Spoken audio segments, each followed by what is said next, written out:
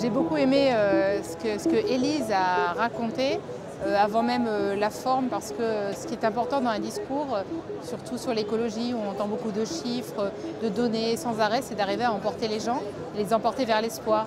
Donc j'ai aimé à la fois son paysage sombre et aussi l'espérance qu'elle donnait à travers ses propos. C'est le, le charme du Jane Goodall Institute d'arriver à rallier des gens qui sont des bénévoles, des engagés, des passionnés. Aujourd'hui, on sait qu'on a de plus en plus de difficultés dans les organisations non gouvernementales à trouver des gens qui s'engagent dans la durée, qui partagent nos convictions et qui essaient euh, finalement euh, de faire avancer les choses. C'est plus facile de militer sur Internet, de signer des pétitions, même si c'est aussi important.